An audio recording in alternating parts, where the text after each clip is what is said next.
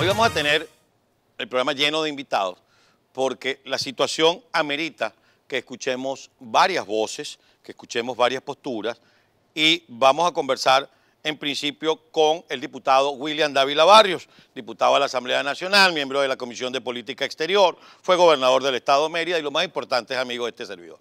Y por eso le doy la bienvenida y le agradezco que se haya tomado estos minutos para atendernos vía telefónica. Diputado William Dávila, muy buenos días y gracias por atendernos. Muchas gracias y de verdad, amigo del señor Carlos. gracias de verdad, diputado, le agradezco esa deferencia. Lo primero que quiero que desde su... Quiero hablar con William Dávila, el político, porque lo primero que quiero que analicemos es por qué se mete ese frenazo el régimen, por qué Diosdado se lanza en el aire y después nos damos cuenta que es puro buchi y pluma, después que amenaza disolución, 36 diputados, entonces después recorta. ¿Cómo lo lee usted, mi querido diputado? Creo que el anuncio previo que hizo el presidente Guaidó, o mejor dicho, la denuncia que hizo el presidente Guaidó, que tuvo efectos internacionales, tuvo su repercusión, tuvo su, reacción, lo frenó, porque él tira esa parada eh, para que de alguna forma forme parte eh, de algún concierto de negociaciones internas que tienen dentro, porque ahí eso es una tribu. Está la tribu de Maduro, está la tribu de, Diosdado, está la tribu de los militares, etcétera, ¿no? Entonces está jugando a marcar espacio, a que se sienta que él es parte del poder y que sin él no pueden hacer nada y de esa manera establecer mecanismos de presión propios de él. Por otra parte, pienso que él, no tiene la fuerza ni la, ni, la espuria constituyente popular que tiene la Asamblea Nacional. La Asamblea Nacional fue electa con 14 millones de votos. ¿Cuántos votos o cuánta gente participó en una amañada elección eh, como fue la espuria constituyente, que la hicieron precisamente violando la constitución sin consultarle al pueblo, porque el pueblo habría votado en contra, habría rechazado esa convocatoria hace dos años, pero no lo hicieron porque saben perfectamente bien que han perdido el calor popular. En tercer lugar, porque obviamente eh, a nivel internacional esas presiones funcionan y son importantes, y él sabe perfectamente bien que no son presiones internacionales descendentes, sino que antes, por el contrario, son cada día mayores, eh, porque vienen lo que se llaman las sanciones secundarias, eh, que van a tocar directamente a personas y a familiares de los que están ligados con el régimen y que tienen recursos afuera y que los están usufructuando, mientras que el pueblo venezolano está pasando, como decimos nosotros, la de Caín, con falta de, comida, de medicina, porque, el, porque las cosas las podrá ver en, en los estantes de las tiendas, pero no hay el dinero para comprar eh, cuando está un dólar, un, dólar está casi en 13 mil o casi 14 mil bolívares. Eso incrementa inmediatamente los precios aquí en Venezuela. O sea, aquí estamos nosotros en vías de una hambruna, eso lo digo yo, porque uno viene de la provincia y uno se da cuenta cómo es la situación con la falta de gasolina, la falta de gas, los productores nuestros ya han disminuido en un 70% su producción, porque no tienen cómo sacarlo a los centros de consumo, porque no hay repuestos para los camiones, porque no hay gasolina, porque no hay gasoil.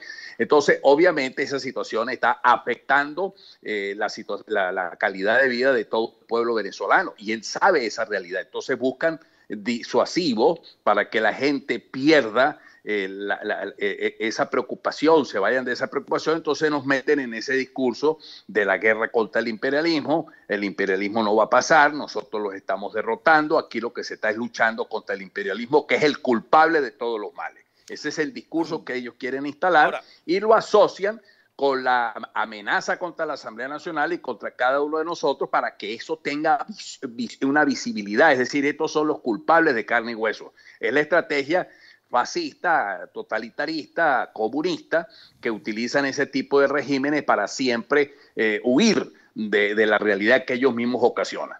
Ahora, diputado, nos encontramos, cuando uno observa esta conducta, no tiene menos que pensar que el régimen está débil, y me aventuro a decir, bastante débil.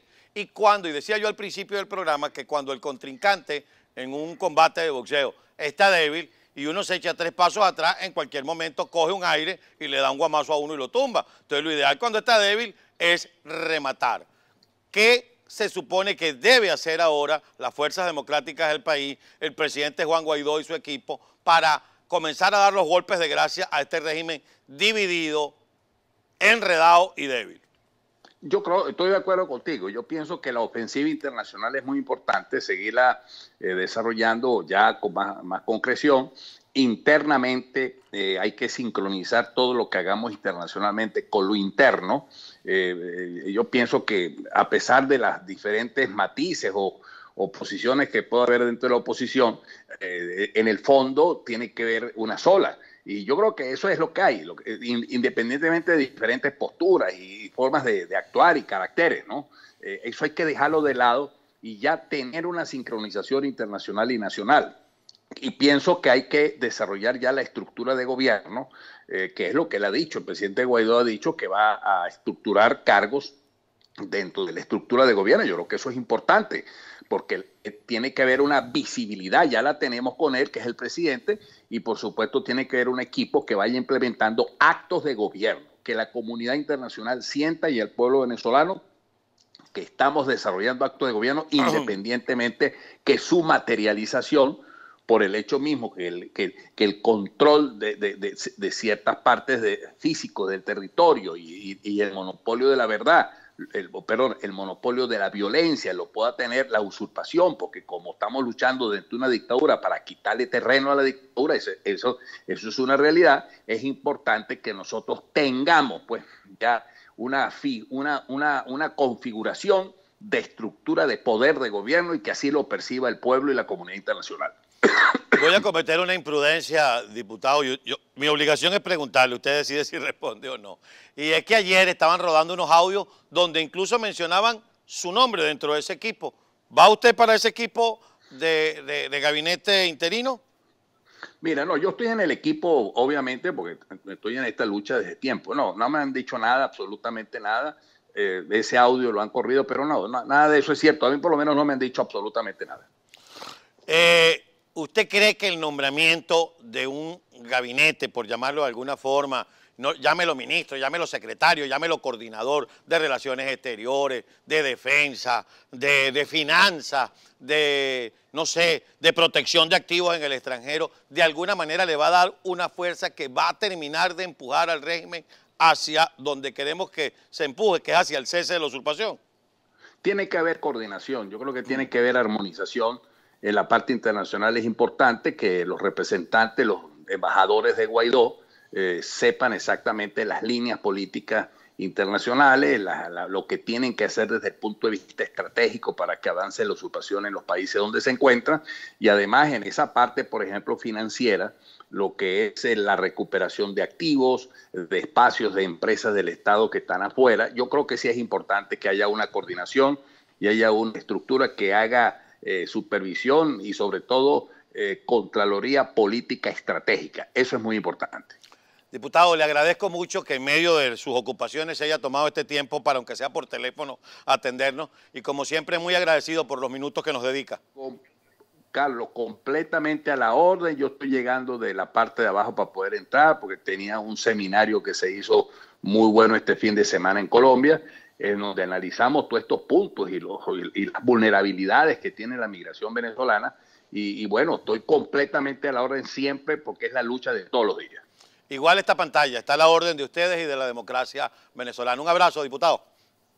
Gracias, Carlos. Saludos. William Dávila, diputado a la Asamblea Nacional, exgobernador del Estado de Mérida, miembro de la Comisión de Política Exterior de la Asamblea Nacional, único cuerpo legislativo legítimo electo por los venezolanos y con vigencia hasta diciembre del año 2020 cuando se produzcan las elecciones y hasta el 5 de enero del año 2021 cuando cambie su cuerpo completo por la elección que hagan los venezolanos de manera libre y voluntaria. Pausa y regresamos.